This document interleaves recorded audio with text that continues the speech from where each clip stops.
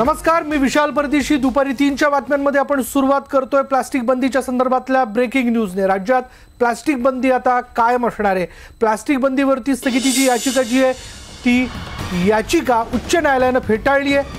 Plastic dispose करण्याची मुदतही वाढवण्याच्या सूचना देण्यात आल्या प्लास्टिक उत्पादकांसोबत सरकारला चर्चा करण्याचे निर्देश देण्यात आले मुंबई उच्च न्यायालयानं प्लास्टिक बॅनला आता विरोध करणाऱ्या उत्पादनांची उत्पादकांची मागणी जी आहे ती फेटाळून लावली आहे. महाराष्ट्र सरकारनं प्लास्टिक बंदीच्या विरोधात मुंबई उच्च न्यायालयात याचिका दाखल केली होती आणि त्या याचिकेवर सुनावणी करताना उच्च न्यायालयानं ही मागणी फेटाळून लावली आहे. यासोबतच सरकारला याचिकाकर्त्यांच्या सूचनांचा विचार करण्याचे निर्देशही देण्यात आले.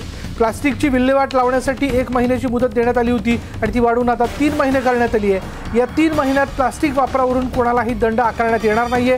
प्लास्टिक उत्पादकांना सरकारसोबत चर्चा करण्याचे निर्देश देण्यात आलेत आणि याचिकेची पुढली सुनावणी जी आहे ती आता आठ जूनला करण्यात येणार आहे.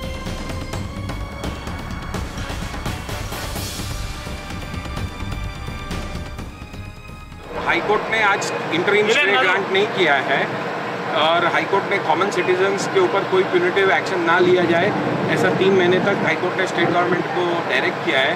स्टेट गवर्नमेंट को ये भी डायरेक्ट किया है कि पाँच मई के पहले आप स्टेक होल्डर्स जो पटिशनर्स हैं उनकी सुनवाई करें और जो जो चेंजेस आप ला सकते हो इसमें मॉडिफाई कर सकते हो वो मॉडिफाई करें और हमको रिपोर्ट